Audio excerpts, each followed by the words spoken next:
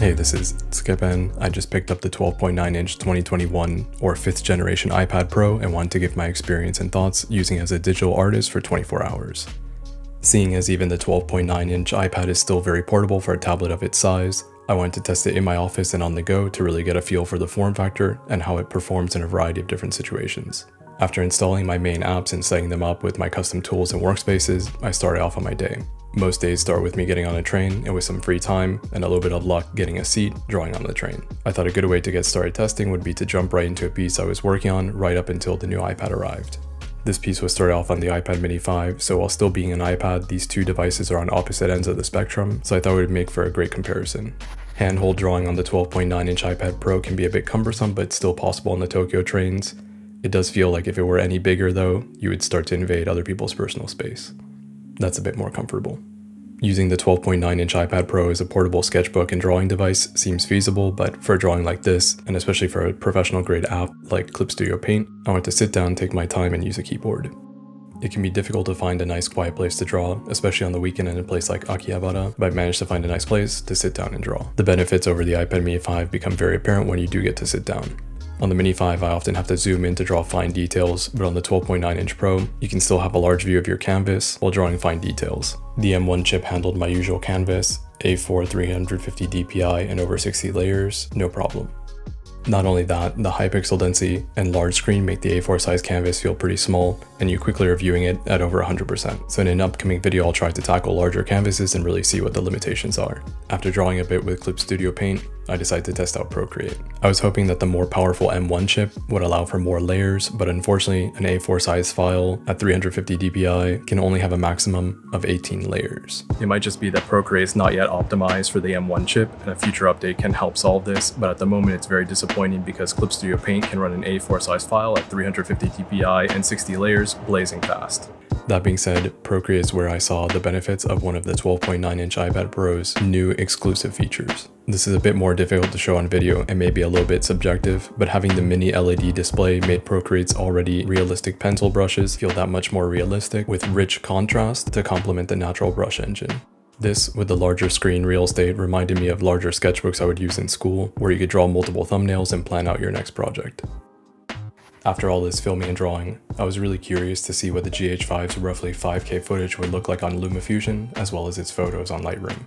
4K ran very smoothly, and 5K files were a bit choppy, but that is the case even on my workstation. I really have to test it out further with a proper video project, but it seems very promising, and I can see moving some of my workflow over to LumaFusion. Lightroom also worked very well as you would expect. Importing photos directly from a camera or SD card is fast and simple, all you need is a USB-C adapter.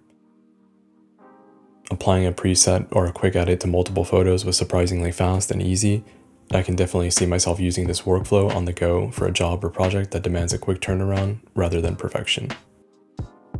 I'm also curious to see if the mini LED display's color representation has any effect on my workflow. After that, I went to work a little bit more on the drawing I'd started on Procreate.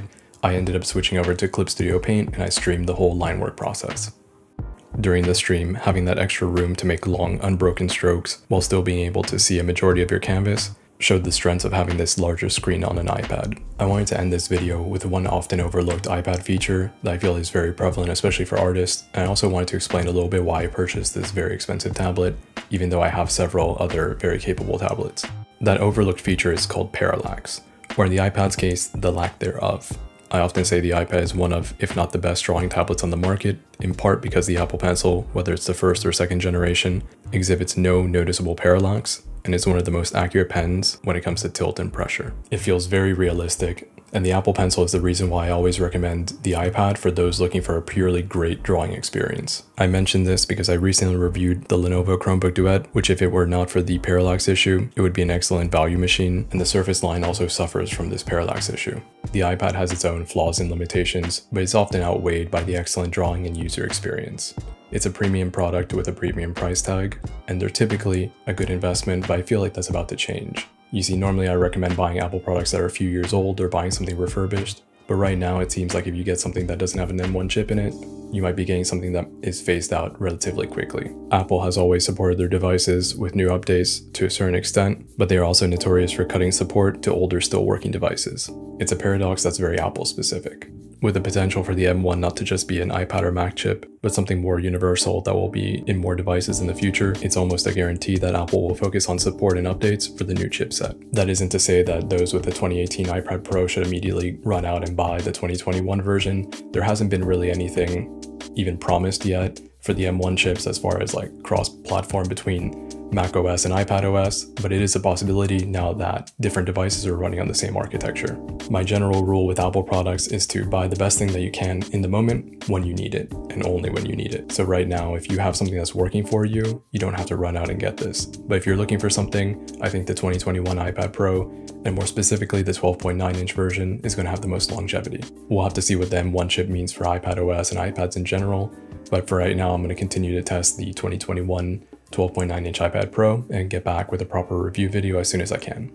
I'm Tsukepen, and thank you so much for watching.